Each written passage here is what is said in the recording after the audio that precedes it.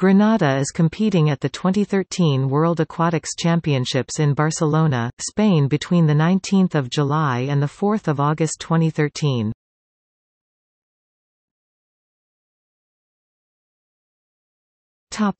Swimming